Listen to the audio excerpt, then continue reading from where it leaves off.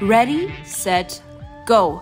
Die Straßen von Berlin sind bereit für ein Spektakel der Extraklasse.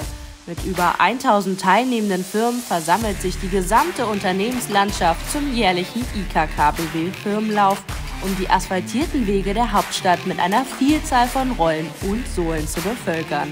Wir schaffen es den Firmen eine Plattform zu geben, dass sie auch ähm, die, die, den Teamzusammenhalt stärken können. Gleichzeitig bringen wir Menschen in Bewegung und das macht es für uns halt so einzigartig.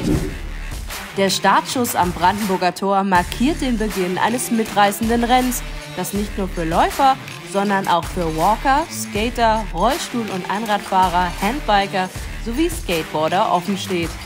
Während sie entlang der Strecke laufen, passieren sie den idyllischen Tiergarten und die Siegessäule.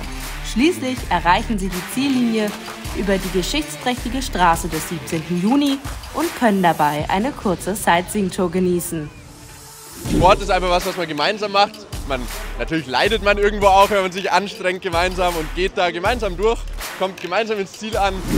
Der IKKBB Firmenlauf steht nicht nur für sportlichen Ehrgeiz, sondern auch für gemeinschaftliche Werte wie Teamwork, Solidarität und Respekt. Die Teilnehmer laufen Seite an Seite, unterstützen sich gegenseitig und ermutigen sich, ihre Grenzen zu überwinden.